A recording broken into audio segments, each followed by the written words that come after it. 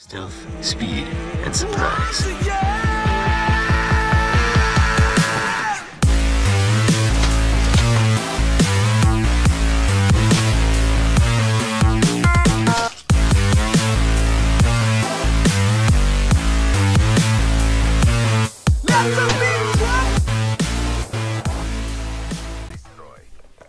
What's up guys, Magic Knives here, and today I'm bringing to you some Black Ops 3 knife-only H.A.T.R. uh, gameplay in Search and Destroy. I actually get a H.A.T.R. in this um, Search and Destroy gameplay. The first time I've ever gotten a H.A.T.R. or an orbital VSAT, if you will, in, uh, well I mean, it's the first time ever I've gotten a H.A.T.R. in Search and Destroy. Um, I never got an orbital VSAT knife-only search and destroy gameplay in Black Ops 2, Black Ops 2 I came close but uh, uh, couldn't quite get it. And this is what I hate. I'm I'm the last person standing and a dude, a friend of mine uh, invites me to a party chat and he blocks my minimap screen which kind of screws me over at this point because I'm the last guy and that, that the, the guy that killed me was the last guy.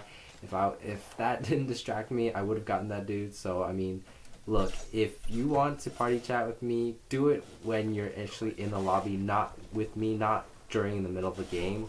And so that kind of that was the only like bad thing that kind of happened in this game.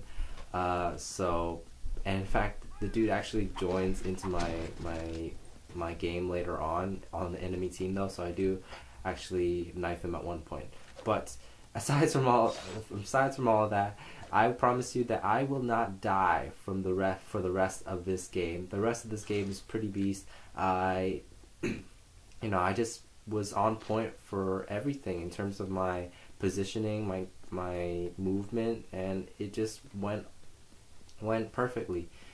Anyways, aside from the gameplay itself, I'd like to give you a few updates on what's been happening as well lately.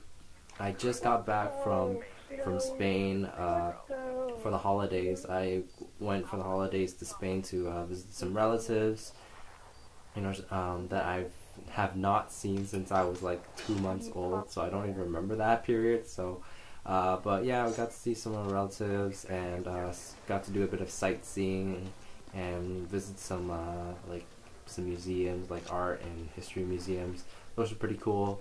Uh, but aside from that, also we we came back around uh, on the on December thirtieth, so one day before uh, New Year's New Year's Eve, and I wanted to plan something for New Year's Eve, but uh, it was everything. Everyone was already kind of busy. Already had plans because I mean I was away the whole I was away during the during the whole holiday, so I couldn't really like plan much with them, and. Uh, not only that though, it's the whole trip. Like me and my family were kind of you know not hundred percent like well. Like even right now, I'm a little bit. I don't want to say I'm not really sick. Maybe just, a little. Let's just put it that way. And uh, we got back, and you know it's it's a six hour difference between here in Toronto and and uh, in Spain. Spain is six hours ahead of Toronto. So when we got back, uh, I a lot of it, we were all pretty like we we had a, quite the jet jet lag. So uh, I, as much as I wanted to plan something fun for New Year's Eve with my friends, I was I was not feeling well at all. I was tired and kind of sick, so I had no energy whatsoever really to do, do anything in the first place. So I just decided, whatever, I'll just sleep through the through the New Year's Eve countdown. So I did, and I slept for a good 14 hours straight, and man, did it feel so good. I do not get to do that too often, and I'm not even a morning person, so I, I just slept through it. And on the, the morning of Janu- on on New Year's Day, I I felt much so much better. I'm like, ah, you know what? It was kind of nice to not have to not really being concerned about staying up until midnight for the countdown. You know, because I mean, you do it you do it every year. So and after a while, it kind of gets sometimes it gets a bit repetitive.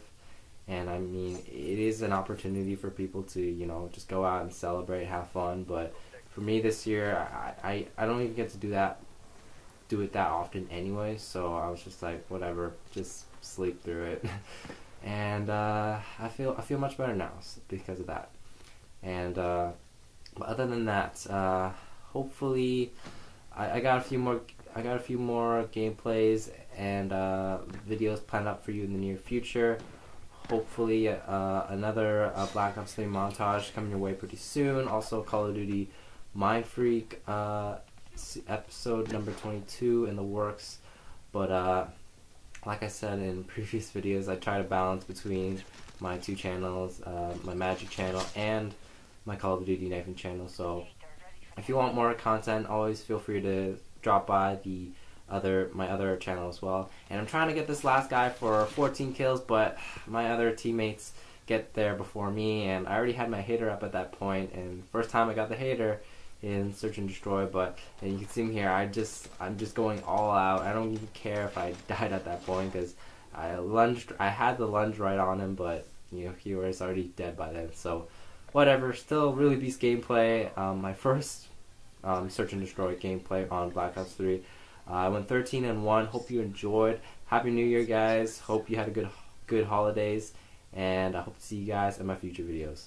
Peace.